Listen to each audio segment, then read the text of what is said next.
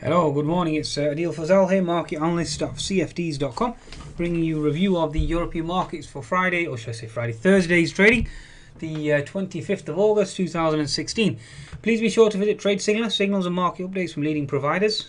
Uh, you can download the uh, app from the Google Play and the Apple App Store at www.tradesignal.com. Okay, in terms of uh, market reaction, okay, it uh, certainly has been a risk-off tone uh, set mainly by the US markets due to the uh, concerns uh, emanating from EpiPen. Okay, apparently a, um, is the organization apparently that uh, owns this drug and basically has quadrupled the price of this drug. I think it's uh, started off at hundred dollars. I think it's up to six hundred dollars now over the last four or five years. But I, I regardless, it basically is Mr. Clinton certainly is uh, obviously uh, intervening here, stating that they obviously put profit before the uh, the human need, okay, for this drug, and uh, certainly has sent the biotechs into a tailspin. Okay, so uh, Nasdaq certainly has suffered due to that. Okay, so you certainly see the Nasdaq now languishing around the 44770 zone.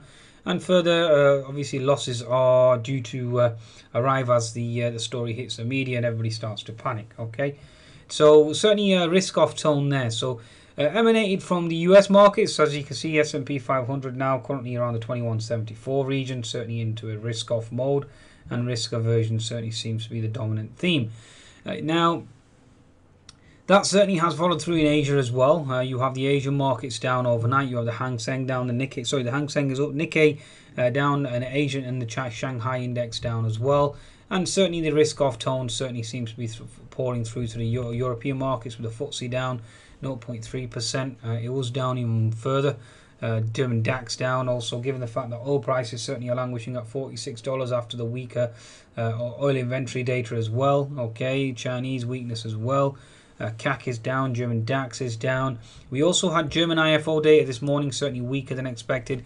We had French data weaker than expected. So again, a risk-off tone there. Okay, uh, we've just had some UK data come out and certainly has come out on the stronger side. Uh, CBI data certainly has come out toward the stronger side. CBI reported sales 9 versus 5. But having said that, it basically means that um, it basically means that uh, uh, the BOE will no longer obviously do QE. So again, there is certainly a, a risk off tone towards that as well. Okay, so that certainly is something to uh, consider. Now, in terms of uh, technicals, let's just bring up the technical charts for you folks. Okay, so first of all, let's start off with the German DAX. Let's see where we are technically positioned here. Let's go to the daily chart German DAX. Again, it's all about the unfilled gap below here and here. Given the weaker IFO data negates last week's stronger data and G German GDP that was in line yesterday, certainly does raise a few questions and therefore looking for a risk aversion tone, especially given the fact that the Nasdaq now is starting to come off. Okay, looking at the 60 minute chart here of the German DAX again, it's all about gap fill below, looking for 10370 folks. We certainly have bounced off that 200 MA and double bottom as well at 10460, but again looking for risk aversion. Okay. In terms of the uh, French CAC, let's just bring up the French CAC for you. Daily chart, the French CAC here. It's an inside bar as opposed to yesterday. Having said that, weaker data from France. Obviously, NASDAQ weakness as well. You are looking at gap fill below around the 4340 zone. So watch out for 4340 on the, uh, the French CAC as well. Going to the 60 minute chart, the French CAC, let's see exactly what's happening here. You had uh, horizontal support, certainly have bounced from there. Okay, so horizontal support certainly has bounced, certainly has helped the rally on the French CAC. And again, uh, you are looking at retesting 4380 and potentially closing that gap below at 4340. So it's all about Nasdaq. If Nasdaq continues its weakness, then you can expect weakness to continue in the into the uh, into the US markets and European markets uh, as well. Okay, let's move over to the FTSE 100 now. FTSE 100 daily chart retesting previous resistance equal support around that four. Uh, 780 zone, obviously we bounced quite handsomely from there. 60 minute chart the FTSE 100 bounced off this key horizontal support line around the 4, 6, 780. Uh, we are now back into this resistance zone at uh, 6813, 6815. Uh, obviously retesting the uh, H&S neckline and the downside target remains 6670.